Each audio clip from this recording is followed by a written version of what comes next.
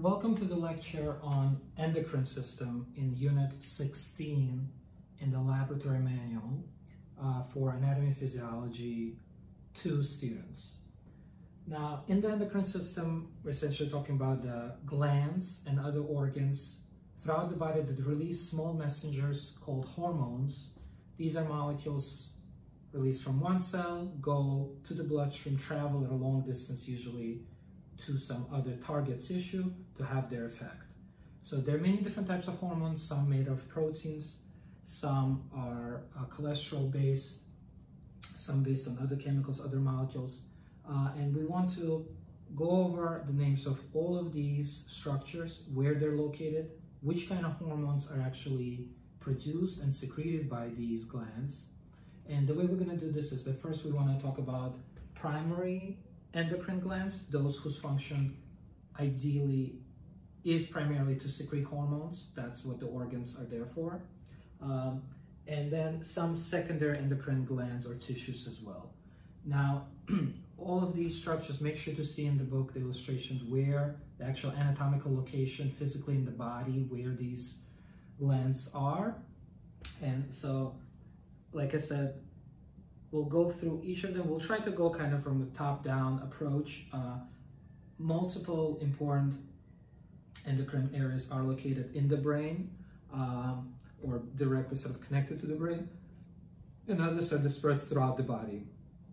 Um, now, again, to keep track of them, make sure you're looking at the pictures of the diagrams in the book to follow along uh, with the notes and the videos. So the most important uh, structure in the endocrine system starts with the one that's connected to the managing center of everything, which obviously is the brain. Remember, the brain is in charge of all functions in the body, ultimately has the final say in terms of which organ and which structure can do what in the body. And so it's no surprise that the hypothalamus, which is uh, the small structure above the pituitary gland, deep in the brain, would be involved in the primary endocrine response and essentially in charge of other endocrine organs in the body. Now, the best way to characterize the hypothalamus is to say, uh, from one perspective, it does actually have two um, hormones that it synthesizes that actually will go down as a posterior pituitary will be released there.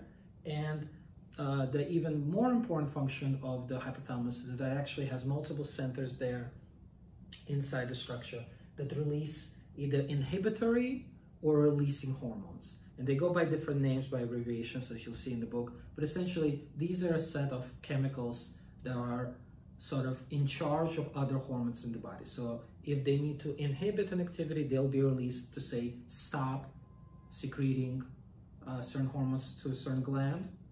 Or if they're releasing hormones, they will say, go ahead and release more. That's basically what that is in summary for the very specific two hormones secreted and kind of synthesized in the hypothalamus.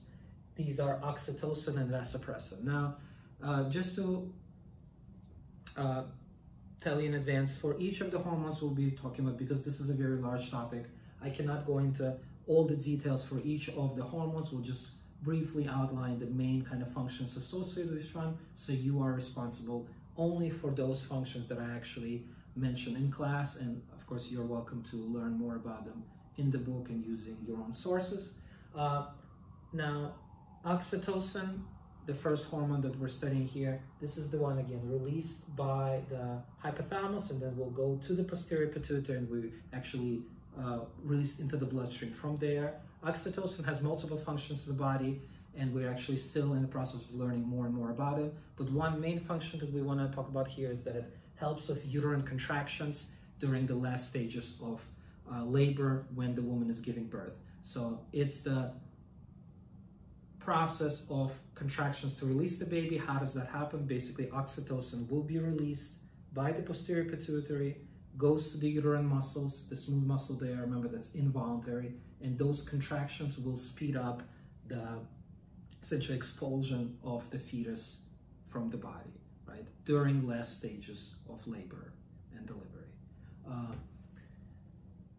vasopressin, another hormone here in the hypothalamus. This is a hormone also called antidiuretic hormone or ADH. Um, And this is the hormone that acts on the kidney, specifically the collecting ducts in the nephron, and there are receptors there for ADH to allow for water retention.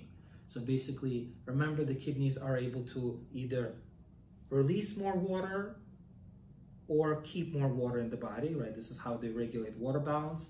So one of the primary ways this is done is through this hormone vasopressin, again, that will be released from the posterior pituitary, will go to the collecting ducts of the kidney, and when, in, when activated will allow more water retention to take place there. Uh, now, the next structure right below the hypothalamus is the pituitary. Pituitary is a very small structure kind of hanging off of a stalk uh, from the brain. It's protected by the sphenoid bone in the skull. Now, there's two parts of the pituitary, the anterior and the posterior pituitary. Uh, now, posterior, we just talked about, that's the one that releases those two previous hormones. Anterior pituitary is much more important. It releases essentially at least six different hormones that are abbreviated here. Uh, so again, even though this is a very, very tiny area, when you see it under a microscope, when you see it in images histologically, you will see it has different color, different kind of staining cells, different appearances that actually are responsible for synthesizing and secreting into the bloodstream multiple hormones that deal with multiple different variety of controls over the body. So we have TSH, which stands for thyroid stimulating hormone. We have GH, which stands for growth hormone. We have prolactin, which is a, a hormone that deals with uh, mammary glands, the breast tissue in the female. We have the ACTH, which is the adrenocorticotropic hormone. We have the LH, which is the luteinizing hormone. And we have the FSH, which is the follicle stimulating hormone. LH and FSH deal with only reproductive system functions primarily. Uh, ACTH deals with the adrenal gland. TSH deals with the thyroid, obviously, and the growth hormone has effects throughout the whole body.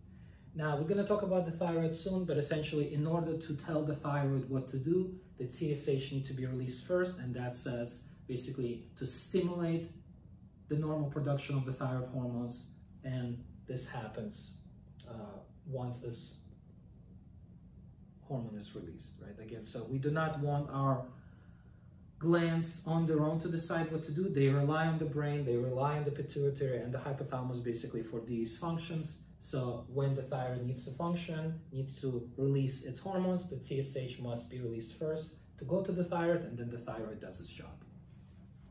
Always, by the way, abbreviate these names just like I'm doing here in endocrine system because we have so many new terms here uh, and many names of these hormones, messengers. It's very appropriate to uh, very useful to abbreviate them always. Again, as long as the abbreviation is used and acceptable, it's fine to use it on an exam or in homework or anywhere else. Uh, so very often, we want to keep in mind what is the target tissue. So for instance, for TSH, the target tissue is just the thyroid. For growth hormone, on the other hand, all the cells in the body have uh, receptors for the growth hormone. And so that is essentially there, right, to make us grow, to allow for normal protein synthesis normal uh, cellular functions in the body, which all cells need to do, right? Remember, every cell in the body is alive, needs to have organelles, needs to have proper protein synthesis and formation of other molecules. Normal functioning cells all require growth hormone throughout a person's life. So growth hormone is not only there when you're actually growing, when you're getting bigger, but actually supports normal development, normal structure, normal function of the body throughout a person's life. Okay, uh, we will talk about uh, separately what kind of abnormalities can occur uh, in case of a growth hormone. Uh, so for instance, growth hormone could be released in excess, causing two separate conditions. Uh, one is what's called gigantism, and another is called acromegaly.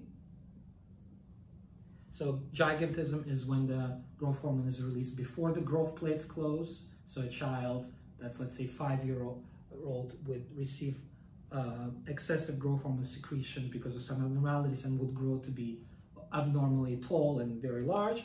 And if the growth plates have already fused, let's say someone who's like 25 years old, but is somehow getting extra growth hormone secretions, they will result in acromegaly state, which is when basically uh, their gloves don't fit anymore, their hats don't fit, right? They have changes in facial expression, changes in bone structure. Again, they might not be getting taller necessarily, but they still have significant uh, appearance changes due to this excess growth hormone secretions and possibly organ damage as well. Again, both of these conditions are not common, uh, but keep in mind that they are result in this endocrine abnormality. Now, for prolactin, prolactin we're essentially thinking about stimulation of milk production in the mammary glands in the female, which happens during the later stages of pregnancy, just before the woman is ready to give birth. Right? Obviously, the the newborn will be reliant on the breast milk. And so in order for the milk to be produced, prolactin is the hormone that must be involved here, must be secreted, again, coming from the anterior pituitary. now, for ACTH or adrenocorticotropic hormone, we are talking about here the adrenal gland, which are these, if you remember, triangular structures on top of the kidneys, which we saw in class.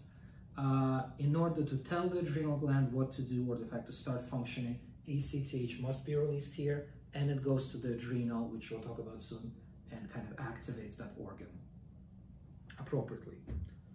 Uh, and the last two hormones, LH, FSH, I'm kind of uh, going to sort of group them together.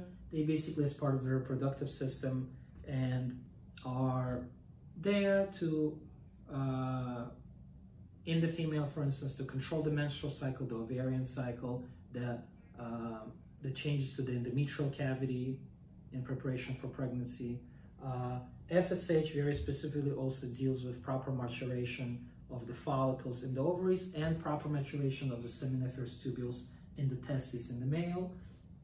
But overall, essentially, we put them together with testosterone and estrogens that we have learned already about as reproductive system specific hormones.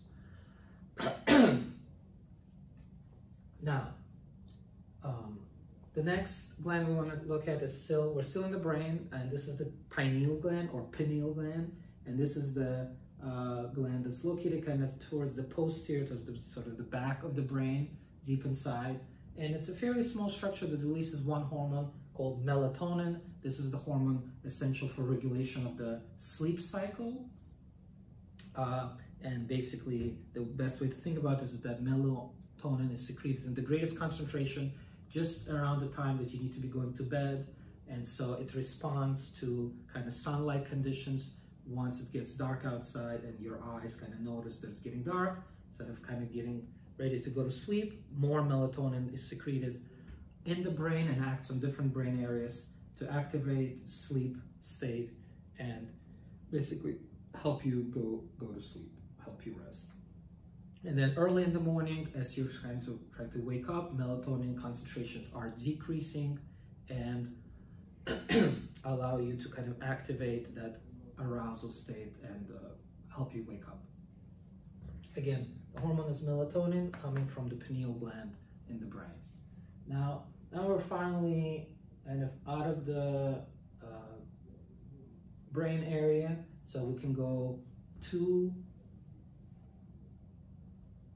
the trachea area, right, anterior neck, we have the thyroid. The thyroid, remember, is located at the thyroid cartilage, which is the anterior wall of the larynx, of the voice box. So on the outside, I have this butterfly-shaped organ called the thyroid. Uh, the thyroid has two sets of cells in them. One is cells related to the thyroid follicles, another is what's called C cells or parafollicular cells.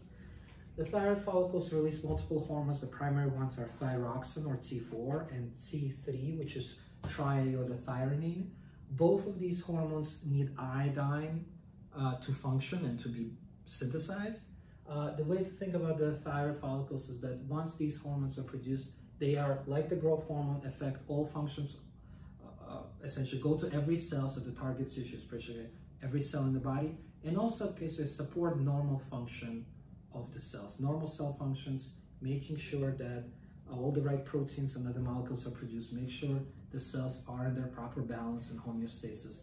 And so it's absolutely critical for the thyroid gland to be normally functioning, all these hormones to be produced.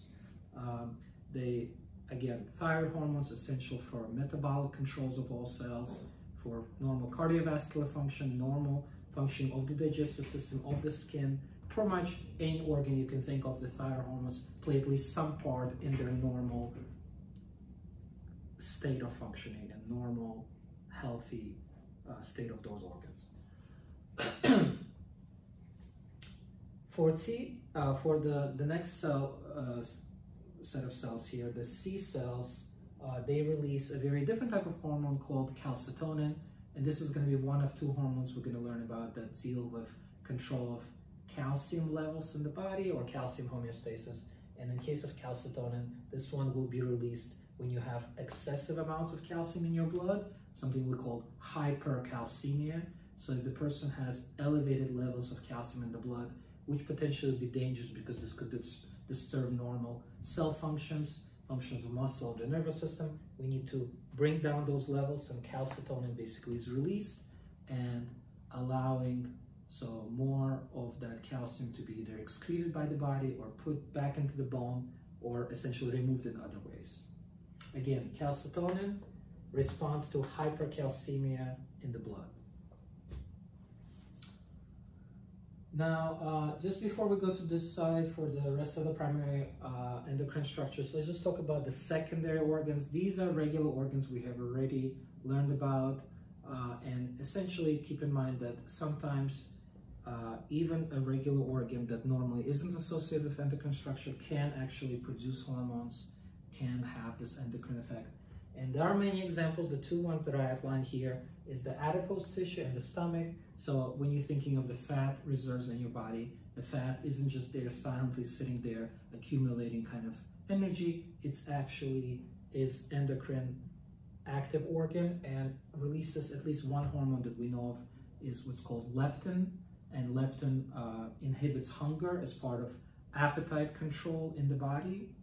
Uh, and the control of appetite has to do with the control of the through the hypothalamus and other regions in the brain, but in the peripheral part of the body, adipose tissue with this hormone plays a role in regulating the appetite uh, for, uh, for normal function of the body. And for the stomach, uh, we also have at least one hormone that we are familiar with, and this is gastrin. For instance, this is the hormone that's released by the stomach in order to activate other stomach cells, that in this case specifically they're activating cells that produce hydrochloric acid uh, as part of the normal gastric acid production that we're all familiar with. So the acid, again, is not produced by itself whenever it feels like, it's actually produced when gastrin is released first, and then that tells the other cells, the acid producing cells in the stomach to start working and doing their job. Now, for the rest of the uh, primary endocrine glands, uh, we have the parathyroid, we have the thymus, adrenal gland, and the pancreas. So the parathyroid is this interesting four separate little button-like structures behind the thyroid, okay? And so they release one hormone called the PTH or parathyroid hormone. And this hormone should be primarily thought of as uh, the antagonist of calcitonin. Okay, so if calcitonin was there to decrease calcium levels in the blood because the person had hypercalcemia, PTH will be released when the person doesn't have enough calcium in the blood, when they have hypocalcemia. So hypocalcemia is a state that again is could be very damaging to muscle cells, nervous system, and others, as we need perfect kind of very narrow range of calcium levels in the blood to have normal cell function. And so when PTH is released, again, only in response to high hypocalcemia or low calcium levels, uh, the PTH will try to do everything possible to get that calcium level reinstated. One will be to increase calcium absorption in the digestive tract uh, and do other things to basically maintain normal calcium homeostasis, right? Again, here, calcium is portrayed as Ca2 plus, as the ionized form of calcium or electrolyte of calcium. And obviously when it's stored in the bones, calcium is not stored as an electrolyte, it's stored as calcium hydroxyapatite, uh, but just uh, when it's traveling through the blood and through other ways, right, it's often could be portrayed as just an ion of calcium. Again, both calcitonin and PTH are there to regulate calcium homeostasis in the body.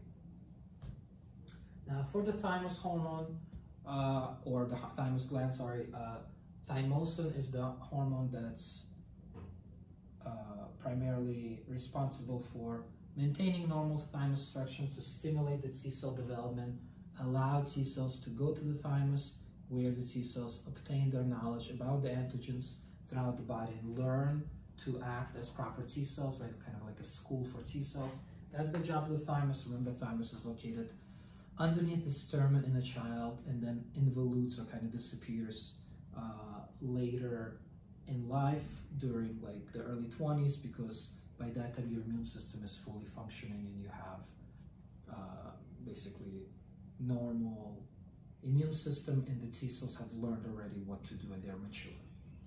Um, now for the last two glands, uh, you have the adrenal gland and the pancreas. So adrenal, actually again, fairly small structures on top of the kidneys in this kind of triangular form.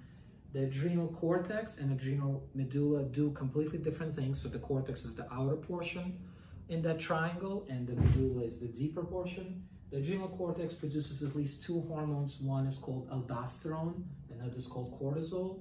Aldosterone is there to regulate fluid and electrolyte balance in the body. So again, uh, helps the kidneys and other organs to regulate electrolytes like sodium ions, potassium ions, and others and fluid balance in the body. And cortisol is a hormone that even has much more dramatic effects. This is a hormone that we know as a stress response hormone. Uh, it has dramatic effects on the immune system, suppressing the immune system. Uh, cortisol is produced uh, in what's called a diurnal pattern, meaning the highest concentration of cortisol is released early in the morning when you wake up. It's sort of like a seize the day uh, hormone. Uh, giving you that boost of energy. And then slowest concentration in the blood of cortisol is later at night when you're going to sleep.